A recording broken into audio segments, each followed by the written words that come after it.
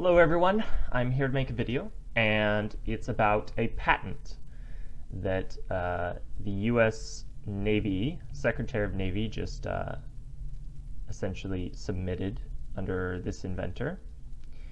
And it's essentially an EM drive in application to a type of craft. Now, if you're not familiar with what the EM drive is, I'll just go over that really quick. Uh, the EM drive, or RF resonant cavity thruster, is a proposed type of propulsion wherein uh, you use a resonant cavity with electromagnetic pulses being generated inside of it. Um, it, it, says to be generated from an intense source of microwave or other radio frequency energy and combined with a resonant cavity um, can be tuned to resonate at a precise frequency. Okay. And the idea is that it would produce a thrust. It would sort of game the system and produce a thrust. So in this paper, they talk about a craft using an inertial mass reduction device comprises of an inner resonant cavity wall and an outer resonant cavity and microwave emitters. So it's essentially an EM drive, but it's a little bit more advanced, and we'll uh, kind of go over why it's more advanced. Uh, the electrically charged outer resonant cavity wall and the electrically charged insulated in inner resonant cavity wall form a resonant cavity. The microwave emitters create a high frequency electromagnetic waves throughout the resonant cavity, causing the resonant cavity to vibrate in accelerated mode and create a polarized vacuum outside the resonant cavity wall. So basically what they're saying is that there's this resonant cavity, there's microwaves inside of it ricocheting around, and what happens is that on the outside of that wall, it creates a vacuum, which causes there to be thrust generated and allows it to uh, produce sort of a uh, a force forward, essentially. Uh, and then the idea also is that it reduces uh, the mass of the device. So it's like sort of like an anti-gravity device, which is we did not think we would have that for a very long time. So this is very interesting.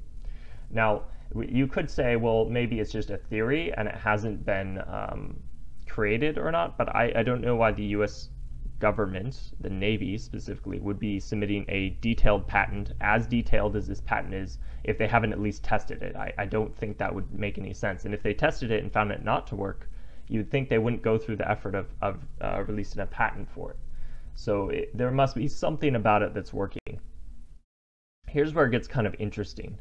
Um, so what it says here is there are four known fundamental forces with control which control matter and therefore control energy. The four known forces are the strong nuclear forces, weak nuclear forces, electromagnetic force, and gravitational force. Okay, so basically what they're saying is they're prefacing this. They're saying, look, there's four fundamental forces, and we found a way to control them. Okay, and, and you'll see that later here. It says, in this hierarchy of forces, the electromagnetic force is perfectly positioned to be able to manipulate the other three. So what they're saying is they've found a way to use the electromagnetic force to manipulate the other three, which includes gravity, which is why this is called an inertial mass reduction device. So a anti-gravity device, essentially. Um, uh, and now I could get a lot of this stuff wrong because it's a lot of very technical type stuff, and I'm not an expert by any means, so uh, bear that in mind. Okay, so as we kind of read through this, what we find is that uh, what they're essentially saying is that um, after, okay, a stationary electric charge gives electric static field a moving charge on both electric magnetic fields. Additionally, an accelerating charge. Okay, anyways, a lot more details, a lot more details. Um, I'm trying to find, it's pretty deep in depth here, where they talk about what the results of this are, like what the outcome is. Okay, they say matter, energy, and space-time are all emergent constructs which arise out of the fundamental framework that is uh, the vacuum energy state. Everything that surrounds us, ourself included, can be described as a macroscopic collection of fluctuations, vibrations, and oscillations in quantum mechanical fields. Matter is confined energy bound within these fields, frozen in a quantum of time. Therefore, under certain conditions, such as the coupling of hyperfrequency axial spin and hyperfrequency vibrations of electric charged systems, the rules and special effects of quantum field behavior also apply to macroscopic physical entities. What they're saying is the microscopic phenomenon, when um, it is constructed in a way, or when it is utilized in a certain way, in the specific way that they're talking about here. Uh, let's go back to that. Um, when it is coupled, oh yeah, when it's coupled in the hyperfrequency axial spin with hyperfrequency vibration of electrical charge systems.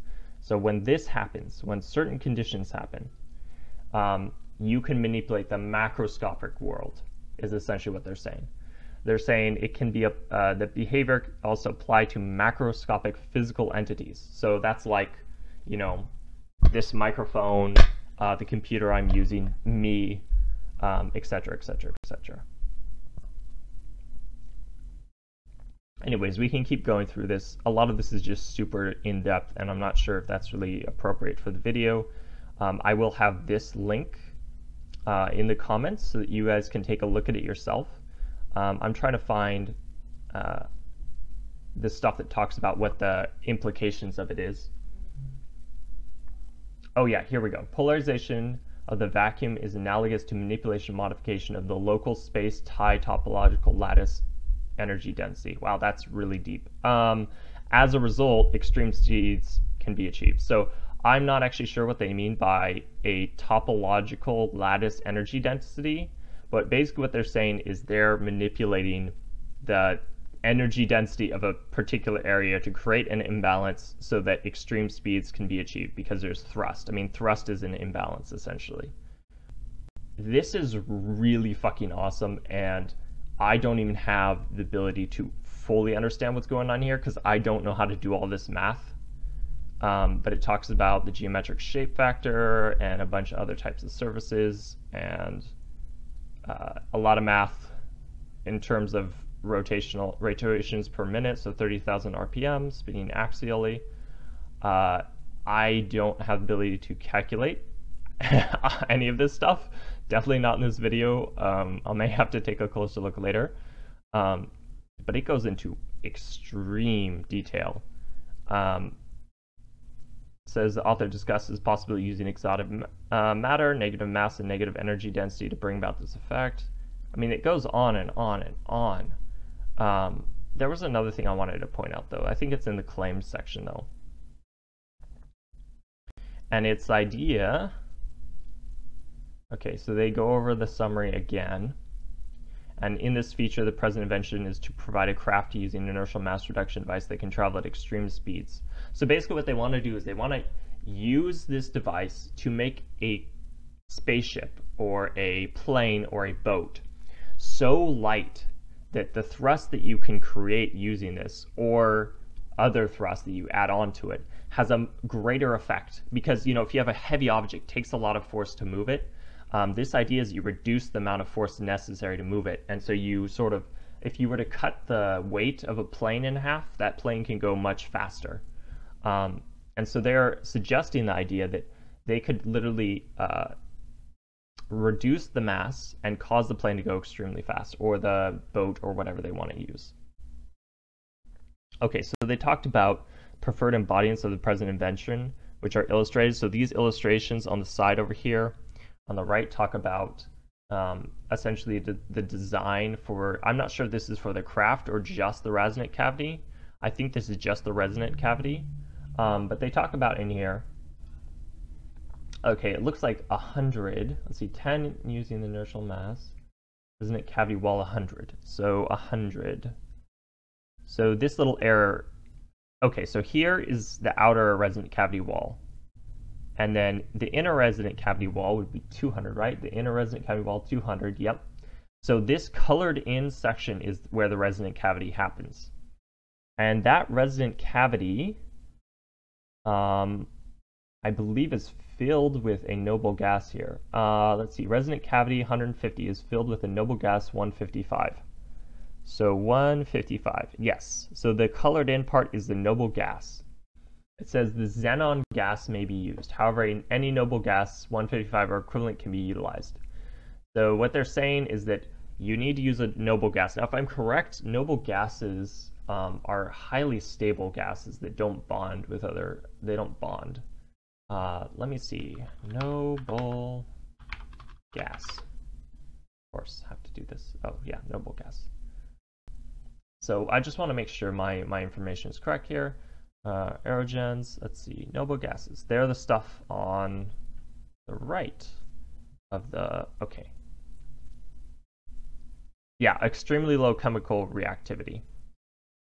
So they don't bond with other um, gases very well. Uh, I was hoping to find a list of them. Helium, neon, argon, krypton, and xenon. So they're saying xenon, this here. Um, so colors and spectra, so it's this blue gas. Um, I guess it's used in uh, neon lights. Yeah, anyways. So that's pretty cool. Uh, I'm not going to go too depth into that, but I thought it was interesting that they're using a noble gas. Anyways, it goes on and on and on about a bunch of different little technical details. Like, it's pretty, it's pretty intense. Um, you could probably build one if you had the right. Okay, here, here's the deal. I'll build one. Like, if someone gives me enough money to build one, I'll build one. Well, I don't know. I don't actually know what it would take. Uh, there's some stuff in here that's pretty hard to do. The basic idea is pretty simple. It's a resonant cavity filled with gas that you bombard with a certain frequency of, of microwave um, radiation uh, or any radio frequency, and it causes some sort of anti-gravity device to, or it reduces gravity. Oh, I was also going to point out uh, that there were tests that they uh, referred to. Yeah, so I'm going to read this entire uh, paragraph as best I can. I'm not sure how to pronounce these names. For the mathematical formalism of inertia and thus gravitational mass reduction, consider published physical review letter uh, December 1989 by these people report anomalous weight reduction in gyroscopic for uh, right rotations only. At the time, the authors could not elu elucidate the physics behind the anomalous results. Several null results experiments followed, and a recent one as well, which declared, and I think the recent one they're talking about is a test of the EM drive, which uh, declared the Hayaska, okay, whatever, the results null and void, or at least questionable, however, all these experiments were flawed in their ability to entirely duplicate uh, the Hayaska et al. Uh, the experimental procedure and setup, especially the high vacuum chamber and test section, was mounted inside. Closer attention to the non-zero intercept of, uh, Hi, is it Hayasaka? Hayasaka et al. Um, expression related to the gyro's weight diminu diminution. Why can I not say this word? Diminution. So essentially, it's reduction. They could have just said reduction, but whatever, with respect to its mass. So essentially, what it seems to be that they're saying in here is that the EM drive, when it was tested, there was a slight amount of thrust detected, and they didn't know why. They thought it was some sort of, it wasn't able to be replicated. They thought it was some sort of a glitch. Um, but what they're saying here is that it's possible, or at least this is my interpretation, is that the reason why there was a small amount of thrust detected and it couldn't be replicated is because it was actually reducing the mass of the device. And that reduction in mass causes an imbalance in how it's weighted. Because how they test this is they have this very well balanced um, pull, essentially. And they put an equal weight and then the device on the other side. And if it's able to turn that or, or cause some sort of a force on it, it's easy to measure because it's so perfectly balanced that when there's a differential, it shows up. So what they're saying is that the mass reduction reduced the weight on that other side of the measurement, causing a slight amount of force to show up. Um, so, so they're saying that thrust was misinterpreted, uh, or, or, or I should say, mass reduction was misinterpreted as thrust. That's what it appears to be the claim they're making. Um, now, anyways, I'm not an expert on any of this. Uh, I just want to say that because I know a lot of people probably will read this and actually understand it, and they'll probably tear me a new asshole. But I just wanted to share because no one else is talking about it. This is like breakthrough technology. This could be an completely new interpretation of physics. This could change everything. You know, you could use this in commercial airlines to reduce the amount of fuel that they use by who knows what what, what percentage. Maybe, maybe eventually, if this is advanced, it could um, make it half half the mass. I mean, if you could reduce the mass of a plane by half, the fuel consumption would go down, the speed would go up. uh, with at much cheaper price. I mean, just in that one area, that would be crazy. Um, space travel, they were talking about the EM drive, how it could get to other planets because uh, it could continue to accelerate to where it gets close to the speed of light. Maybe this is something which would be uh, do the same thing. Um, I mean, it sounds a lot like um, a warp drive, to be honest, because isn't a warp drive just trying to alter the? I guess the warp drive is is altering space time, whereas this is altering gravity and the other three fundamental forces is what their claim was. I think that's what they said. Um, yeah, it says the electromagnetic force is perfectly positioned to be able to manipulate the other three. Yeah, so in other words, if this is true, and I don't know why they would be publishing this application unless they or this application for a patent unless they had received some sort of result. Like it seems just beyond me they, they would go into this amount of detail if there wasn't some sort of result that they thought was valuable enough to make a patent of it.